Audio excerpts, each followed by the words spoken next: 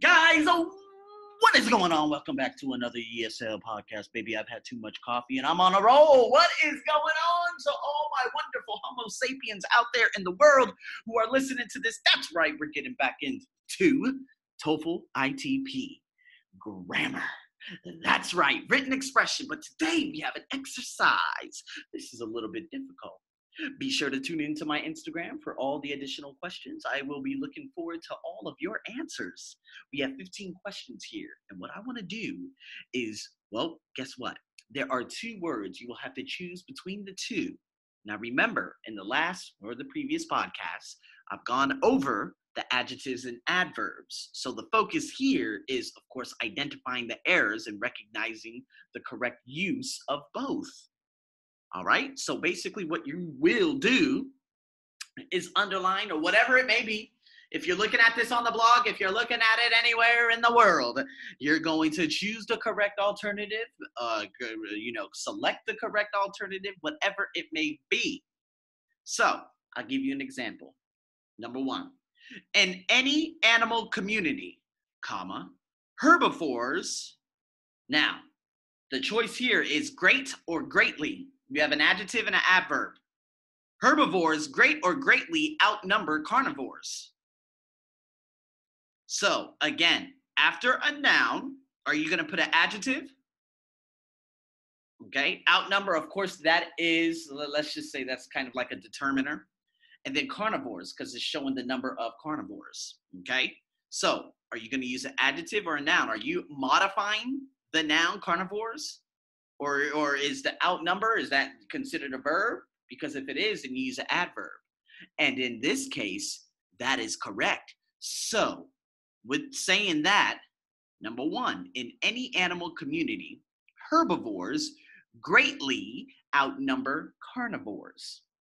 You, na- you need an adverb before the verb. All right, so let's go into the next one.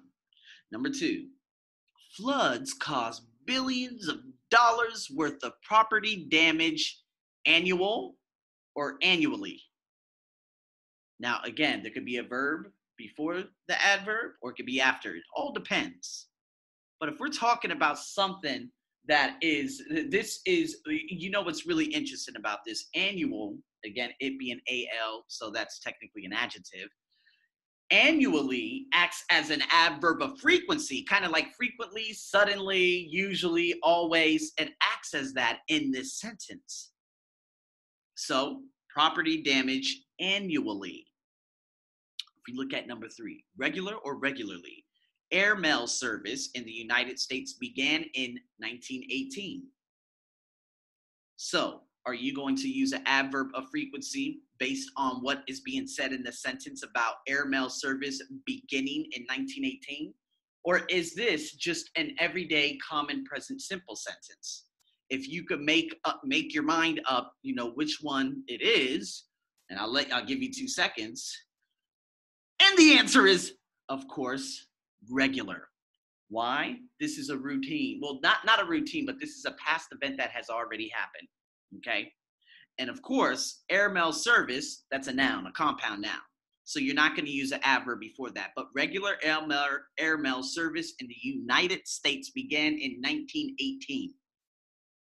I hope you guys are following me. I got two more for you.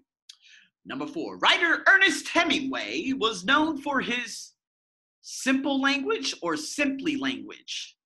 Now, what's a language? Is that a noun? What do you put before a noun? You got your answer. And his lively dialogue. Now, I'm going to finish this bad boy off in a relatively very, very short podcast with number five. The tiny coral snake is, mm, but deadly. Be very careful because the but deadly is the contrast. So, what do we need is what? What do you normally put after the subject, the verb. Like I am tired. What is tired? What is tired? It is, is it is it an adjective? Because if that's the case, the tiny coral snake is beautiful but deadly, or the tiny coral snake is beautifully but deadly?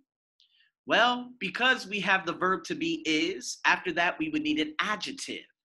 F U L, beautiful, is the suffix of an adjective. So, with that being said, people, we have a lot more.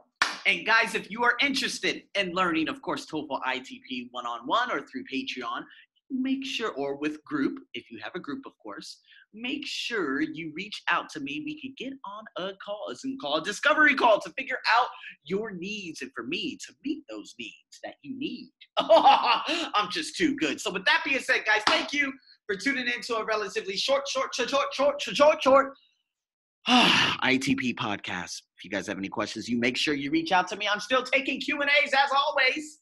I'm your host as always. Over and out.